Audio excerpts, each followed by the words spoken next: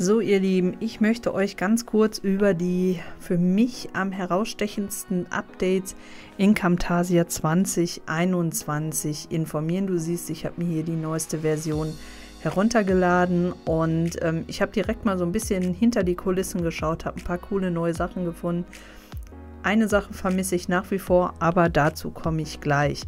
Ähm, ich bin jetzt hier direkt im Backend, das heißt in der Bearbeitungsvariante von Camtasia 2021 und du siehst, es hat sich im Grunde genommen optisch gesehen zu dem Vorgänger, zu der Vorgängerversion nichts geändert. Also der Aufbau ist genau identisch. Ich habe links meine, meine Shortcuts, wo ich halt hingehen kann, was ich gerade machen möchte. Ich habe in der Mitte den großen Vorschaubildschirm, rechts dann nochmal die Eigenschaften zu dem jeweiligen Element, was ich angeklickt habe und hier unten meine Timeline. Aber was auf jeden Fall auffällt, ist, wenn ich beispielsweise auf Übergangseffekte gehe, dass hier unglaublich viel hinzugekommen ist. Ja, also das fand ich bei Camtasia in der Regel immer oder in der Vergangenheit immer echt blöd, weil es war einfach viel zu wenig an Möglichkeiten da. Und jetzt siehst du, ich kann hier einfach tolle Effekte draufziehen und das finde ich also für mich wirklich cool und nach wie vor, ich kann es auch hier wieder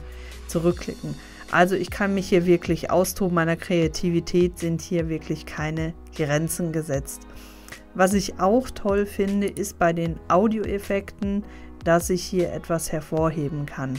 Wofür brauche ich das? Ich habe zum Beispiel ein Video, wo ich ein Voice-Over habe, also wo ich etwas kommentiere, etwas erkläre und ich möchte im Hintergrund Musik haben, also wirklich im Hintergrund dann war das bislang in Camtasia relativ aufwendig, die Musik so einzustellen, zu, so zu justieren, dass im Vordergrund wirklich der gesprochene Text war. Und jetzt habe ich hier dieses Feature hervorheben. In anderen Softwarelösungen gibt es das schon länger. Und dieses Hervorheben ziehe ich dann auf die Ebene, die eben lauter sein soll als das andere. Also auf die Ebene, wo der Kommentar ist, da ziehe ich das jetzt drauf und auf der Spur darunter ist dann die Musik und dann passt sich das automatisch an und man kann das wirklich gut gebrauchen und muss nicht mehr wirklich viel nachjustieren. Das finde ich halt toll.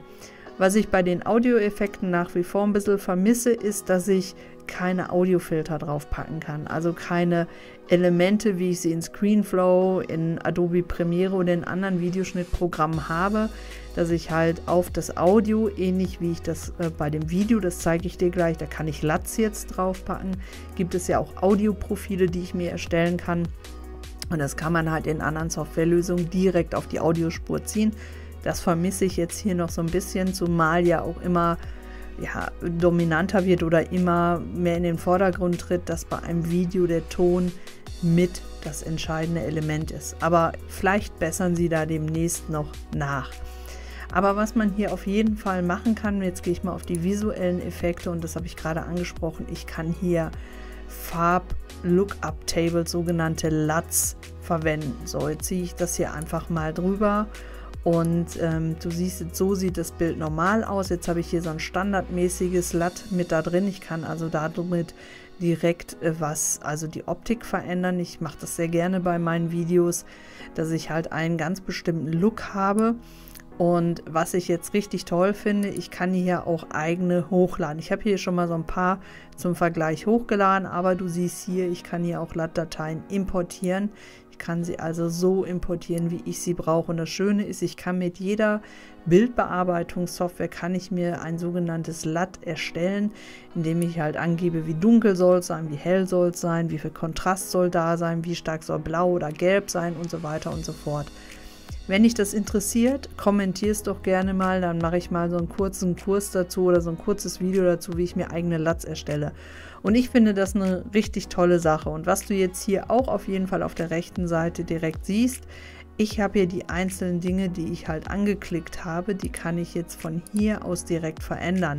In der Vergangenheit war es so, ich musste dann hier wirklich immer auf das einzelne Element gehen und gucken, aha, welchen Effekt habe ich denn da hinzugefügt. Wenn ich jetzt hier noch mehr Effekte hinzufüge, mache jetzt mal nochmal ein ähm, Schatten mit da drauf, dann siehst du, dass jetzt hier mein LUT kann ich hier anklicken oder auch wieder ausklicken und genauso den Schatten von dem Video, wenn ich denn jetzt hier ein Video, wenn ich das jetzt kleiner hätte als der Rahmen, dann könnte ich jetzt hier den Schatten einstellen. Ich mache das Ganze jetzt mal rot und äh, mache einen Versatz. So, und jetzt siehst du hier dieser Schatten, der jetzt hier entstanden ist.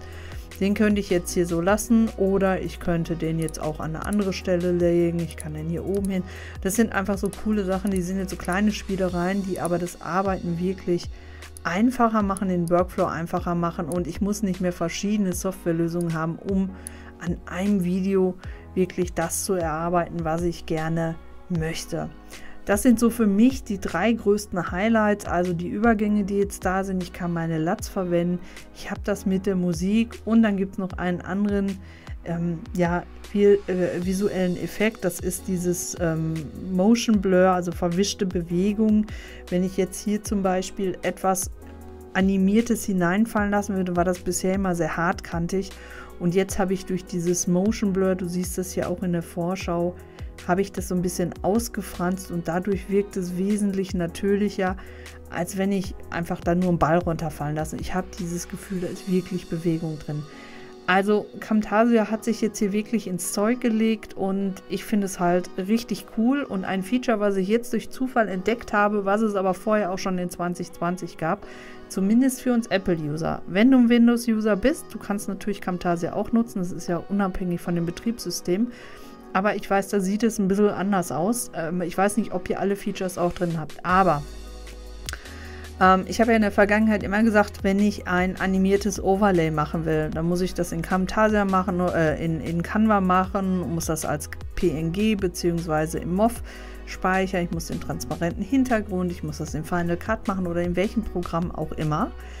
In Camtasia kann ich das jetzt auch und zwar, oder konnte ich schon, ich habe es noch nicht gewusst, dass es geht. Ähm, dazu gehst du auf Exportieren, sagst lokale Datei und dann geht ja hier dieses Fenster auf äh, und dann gehst du hier hinten auf Optionen und wählst bei Kompressionstyp Apple ProRes 4444 aus. Das ist das Format, wenn ich zum Beispiel ein animiertes Overlay in äh, Keynote erstelle. Das wähle ich dann da auch aus oder auch im Final Cut, damit ich diesen Transparenzhintergrund habe. Also wenn ich mir zum Beispiel ein Button erstellen möchte oder ein Text, der hineinfließt, aber der eben nur auf einem bestimmten Teil des Bildes sein soll, der Rest soll transparent sein, dann kann ich das hiermit machen. Also liebe Windows-User, wenn du Windows-User bist, schreibt doch gerne mal in die Kommentare, wie ihr das bei euch macht. Würde mich auf jeden Fall mal interessieren, ob Camtasia da auch eine entsprechende Lösung für euch anbietet. Gut, ähm, das nun mal so als kurzes Update zu Camtasia 2021. Ich werde am Wochenende nochmal ein tiefergehendes Video dazu machen und nächste Woche posten. Lasst es mich gerne wissen, welches Feature euch am besten gefällt.